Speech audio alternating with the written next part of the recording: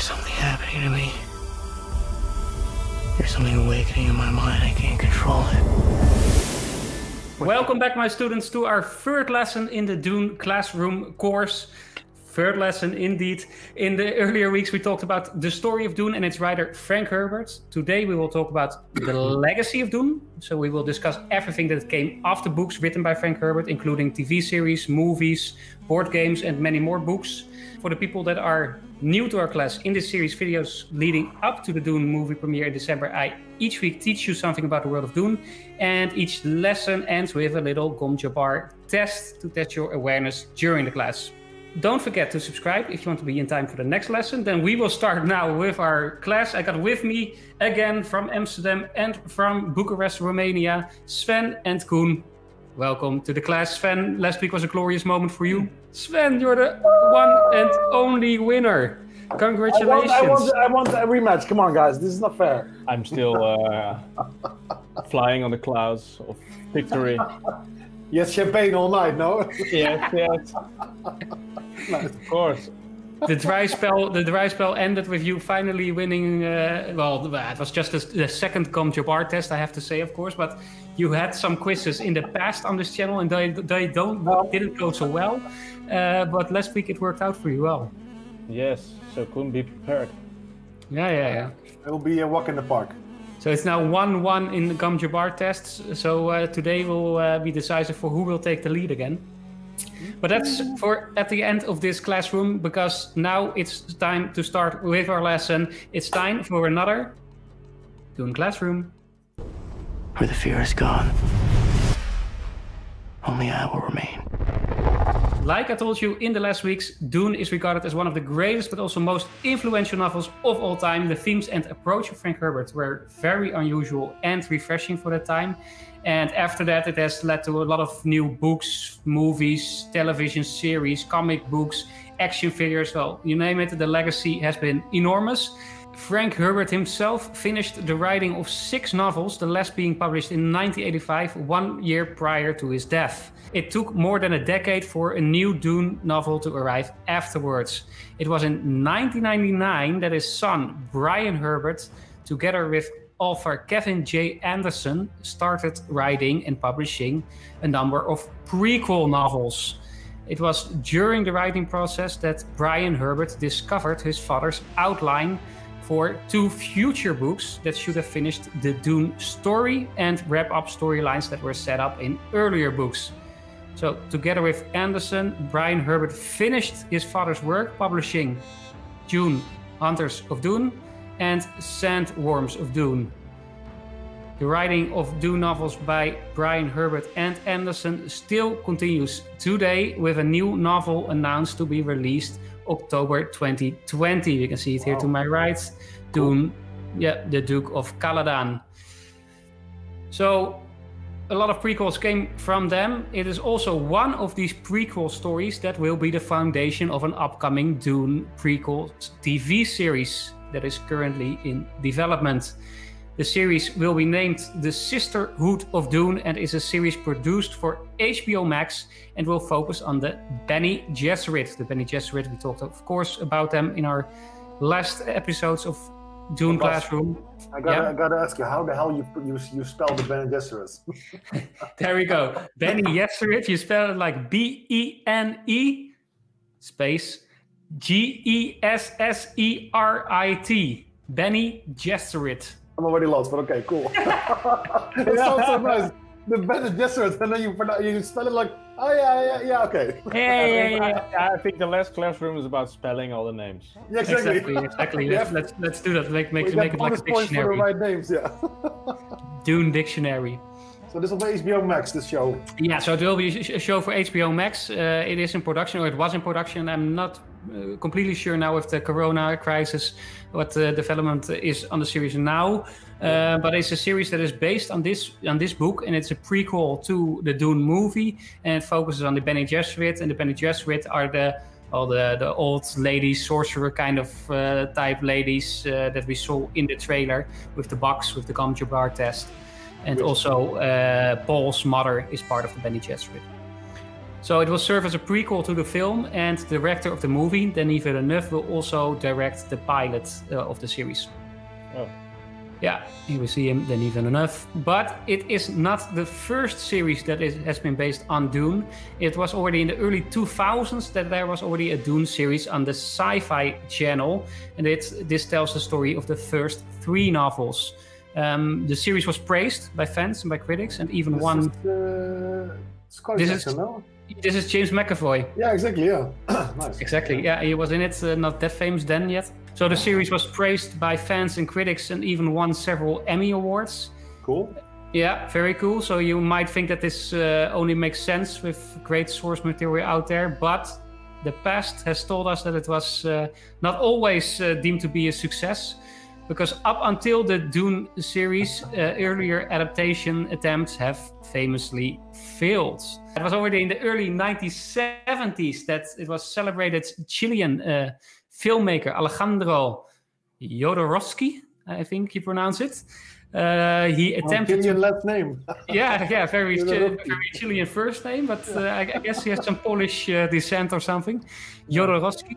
Uh, He attempted to bring Dune to the big screen. Um, it's a bit of an eccentric dir- director, and he created hundreds of drawings and storyboards, and also wrote a script that was so fast that it was thought to potentially last 14 hours. This, this movie. what the hell? Here we can see some of his storyboards. he attached uh, stars, well, also quite eccentric stars like Orson Welles, uh, Da- David Carradine, Wow. uh, Mick Bill. Jagger, Mick Yes, yeah. Jagger. Wow. Mick Jagger, and this was the most surprising one for me, at least. Even Salvador Sali- Wow. Dali was cast. Really? How? Amazing. Yeah, Why Salvador, did it not work out? How is this Yeah, possible? Salvador Dali was was attached to the cast uh, to play the Emperor, and uh, well, Wow. of course, he's an accent- eccentric artist. He d- he wanted to become the most uh, paid uh, actor in Hollywood. That was just what he wanted. Nice. Classy guy. yes, he he asked one hundred thousand dollars per hour, nice. and and Jodorowsky said, like, Uh. okay, we- we're gonna do that. And Jodorowsky planned for him to only have one hour of filming, and for the other parts, he would use a stand-in or something. uh, No. yeah, yeah, yeah. nice. so that was uh, uh, Dali. Um, was it? what did you say? And which period was this? This was in the seventies. of course. Yeah, yeah, yeah. Jordan drugs. Yeah, well, yeah, I think so. Yeah, most likely. Also, if This you see, the, perfect. yeah, also if you see the designs and everything. Um, it would have been awesome. Come on. yeah, I think so. Yeah. But on the other hand, I, I saw the the trailer. I, I was looking for the documentary, but I can't find it anywhere to buy here in Europe. So that's a, bit disappointing.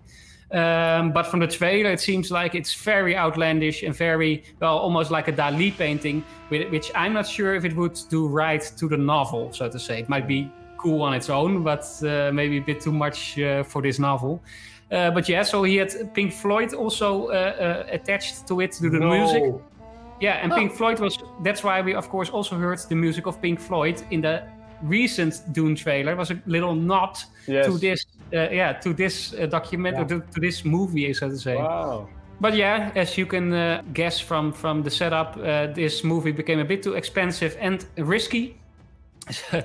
so in the end, it uh, it fell through, and uh, well, it uh, a couple years ago there has been the development of this documentary, and this is well, a fascinating documentary about the whole project, the whole, how it came to be, with interviews with Jodorowsky, and uh, well, from the trailer it looks great, uh, so that's that's perfect. So if people watching know where I can find it, please let me know. But yeah, so that was no success. And then the next adaptation, uh, a bit, maybe a bit more straightforward, but still quite outlandish, is the David Lynch uh, 1984 adaptation of Dune. He attracted Kyle MacLachlan to play uh, a young Paul Atreides. Here seen to my right, here we see uh, David Lynch with Frank Herbert himself. Uh, Patrick Stewart was attached uh, to play Gurney Halleck, and even Sting was attached to play Feyd-Rautha. So that's also quite a, a fun and good uh, Again, cast. musician. Yeah. Yeah, exactly. And the music uh, was the soundtrack was made by Toto. By Toto, yeah, indeed. Oh. So yeah, but uh, the movie, uh, yeah, but was it was, no success. It was no success. It uh, became a commercial and critical failure. yeah. Yeah, Even though- of course, Toto, what do you want? Actually, not a music was fan the best part of the movie, but yeah. But well, yeah. Koen- Koen- Koen and I have many battles about Toto. Ah, okay. It's our running gag. The old Yeah. food between you. Yeah. Yeah. But no, uh, Frank Herbert himself was, uh, by the way, quite pleased about it. But uh, no, Oh, really? he- yeah, he was. Uh, That's surprising. because he, he thought apparently that it stayed more true and was more innovative than other previous attempts for adaptation. Uh, but yeah, I'm not sure. Uh, I'm not the biggest fan myself either. But we all have uh, good hopes, of course, that this year this will all change with the adaptation of Denis Villeneuve, the one that we are all waiting for. And if he will be the first one to successful bring it to the big screen, he decided not to adapt the whole novel, but just half of it in the first movie and the other half in a potential second movie. I think that might be a choice that uh, that might prove itself to be a wise one after the last uh, failed attempts. I'm really stupid. I was so into your story that I forgot the, the second part to, to, to write anything down. There you go. There you go. I was so interested, but I was like, oh, oh shit, I have to write something down. You have to you have to you have to write kind of awareness, Koen. Not too much, not too little. To uh, yeah, it's just Alright. not make me lose really bad then against Sven because I was so into it. Uh, the name again, please, of the, the first director uh, uh, with a really crazy over the top movie. uh, that was Alejandro Jodorowsky. Okay. Yeah, come on. Ah, sorry, man. It's, it's, it's a compliment. I was so into it, yeah. We move on, uh, my students. Uh, so this this was the movie attempt, but of course Dune has also inspired many other filmmakers with its enormous depth of world building that was uh, well quite seldom in science fiction.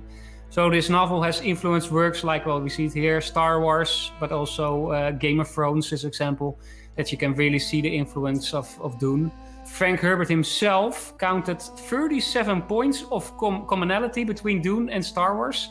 And I already talked a little bit about it last week. He even set up as a joke uh, the We're Too Big to Sue George Lucas Society together with some other uh, science fiction writers. I'm not sure if it's really fair because I think uh, Star Wars is for a large part based on uh, the hero of uh, with a thousand faces of Joseph Campbell. Uh, I read it myself and and I have it here that book and that book is more or less uh, ex- exploration of all the myths from the past and yeah all the myths more or less have the same beats in the story as Star Mhm. Wars so I'm not sure if it's per se Yeah, that, that, that other book is really close to Star Wars? Well, it- the, the other book is a theory book, so it's a theory. Ah, it's a cool. it's studies of myths. Uh, Cool. and Joseph Campbell made made an analysis of what all myths, which beats, so to say, they consist of, and that's the, the hero's journey that we all know and see a lot mm. in movies like Star Wars, like like The Matrix, the Yeah. hero's journey, and which which steps are taken into that. And you can see that in Dune, but you can also really see that in Star Wars. So I'm not sure if those 37 points really stem purely from Dune. I think it's more likely that they st- stem from mostly from myth and from this book of Joseph Campbell. Okay. The fact is that Dune, up until this day, has been highly influential on filmmakers, writers, and artists around the world. Uh, besides novels, series, and movies, uh, the novel has also inspired the creation of up until now five computer games. You see it here to the right. This was one of my favorites when I was uh, well in my beginning uh, teen teenager uh, years. It's like Red Alert, that- version. Yeah, it, it was the one actually that inspired games like Command and Conquer and, and Red Alert. This was the first to popularize the, the genre, so to say. Uh, so it was quite cool. And well, we also had uh, board games, which can still be bought in the shop. Um, also inspired, you see board games, also inspired creation of action figures. You see some from the old movie. Sting! Sting is- who doesn't Sting want the Sting as an action figure? Cool. How cool is that? Probably these are quite, yeah, probably they are worth quite some money now. Awesome. Uh, but yeah, so uh, some action figures, Nice. some uh, funk, uh, funk, uh, Funko Pops, uh, and uh, comic books. And Oh, the influence Funko of Pop. even goes beyond our world because since in 2019 there are several plains and complexes of valleys on Saturn's moon Titan that are named after planets from the Dune novel. Ah, and cool. also, uh, also on Mars there are sites that can be found that are named after planets mentioned in the Dune series. So that's uh, quite cool. Uh, influence, influ- influence goes off-world, so to say. Cool, cool. So that is my lecture for today. Uh, are there any questions before we go to the Gom Jabbar test? Yeah, can you repeat half of it again for me? Yes, okay. So we have yeah, Sven will win this one. I was so into it. I completely. I after the Sisterhood of June TV series, which is like the very beginning, I, I completely have nothing. Oh, so it's nice. interesting. Don't It- look at my paper. It sounds a bit of making Show me, Sven, excuses show me, up show me. front for you, but yeah, exactly. so Well, no questions. No questions. No. Then we then we go directly to the Gom Jabbar. The test is simple. Remove your hand from the box, and you die. Koen, Sven, here we go. Grab your phones. You know how it works. Yeah. I'm going to send you five photos. With each photo, I got a question. You will send your answer in the group. The one so that is, excited. yeah, you're excited. You should be, and you're going to lose because you didn't pay attention. The one No, that I is paid quick- attention. I didn't write it down. That's different. the one that is quickest to answer the question correct earns the points. The one with the most answers correct wins this Gom Jabbar. Here we go, guys. Here comes the first photo and your first question. What is the name of the first sequel novel written by Brian Herbert and Kevin J. Anderson?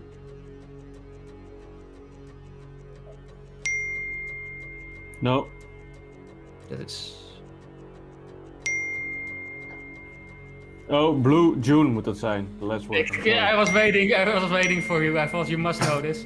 Uh, Sven, Sven is correct. The correct answer is Hunters of Dune. The new Yeah, one is called Duke of Canada. Ah, the new one. Yeah, the new one coming in October. is half a point? No.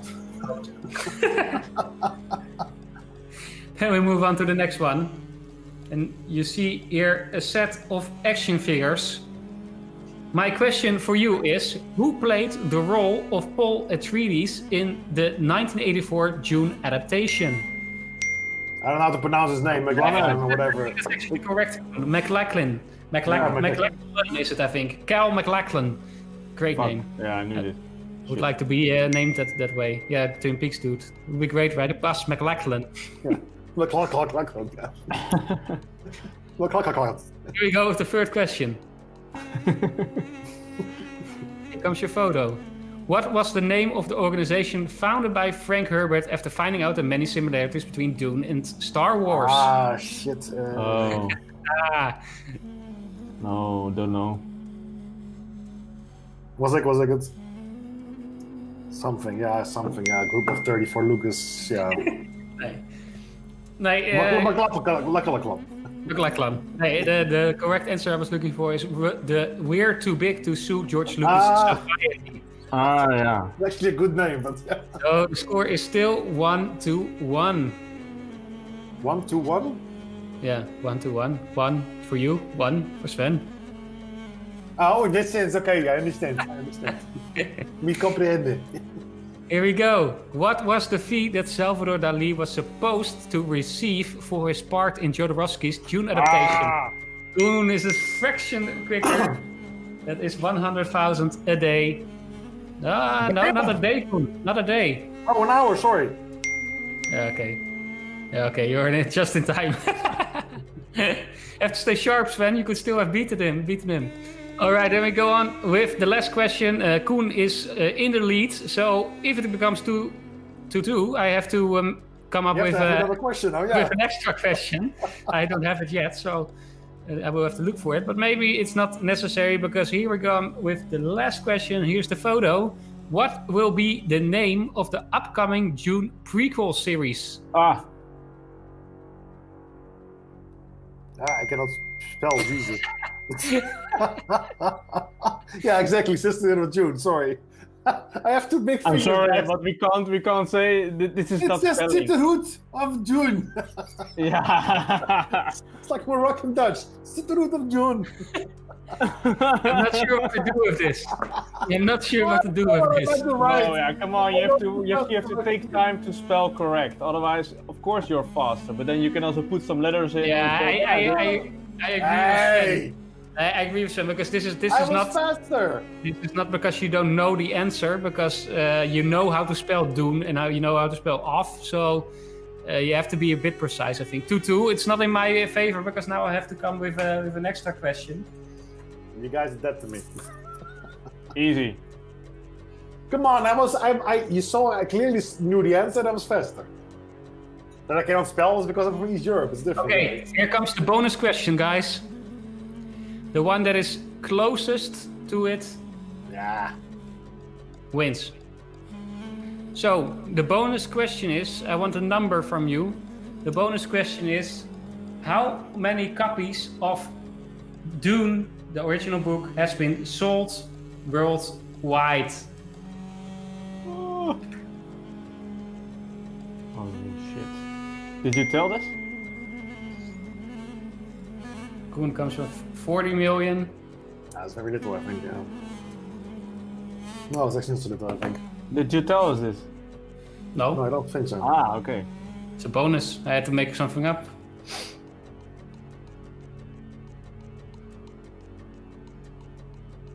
Like the book that was released in 1969. In, uh, yes, in 1965. Oh, sorry. Oh, yeah. Yeah, I'm gonna be above. Let's go a bit lower. Maybe. Nee, Koen, you gave your answer. Okay, sorry. Doesn't matter because Koen wins it because the correct answer was 20 million, almost 20 million.